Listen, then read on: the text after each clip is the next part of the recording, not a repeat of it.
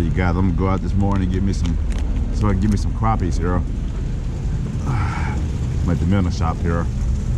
Hey, how's it going? Good. I want to get a, a half a pound of small minnows.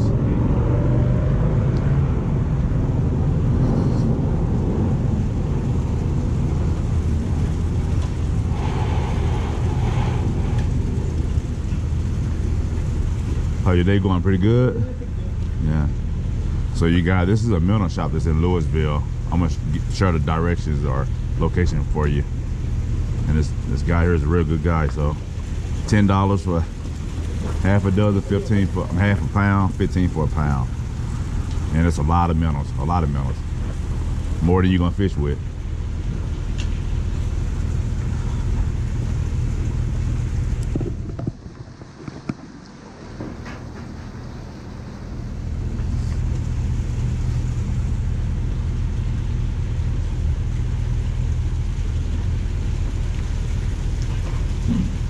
They loading up on minnows.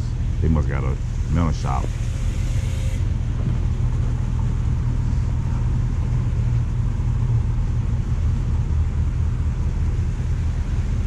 Y'all been getting a lot of y'all been getting a lot of business with this cold?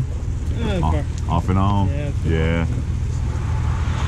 It's crazy how it can be 20 degrees in the morning and then it's good throughout the rest of the day, right? yeah, man. it's like how it drops like 50 degrees over over like overnight, you know. All right, you ever go? I'll see you next time.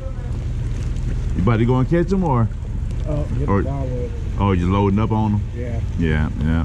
All right, you have a good one.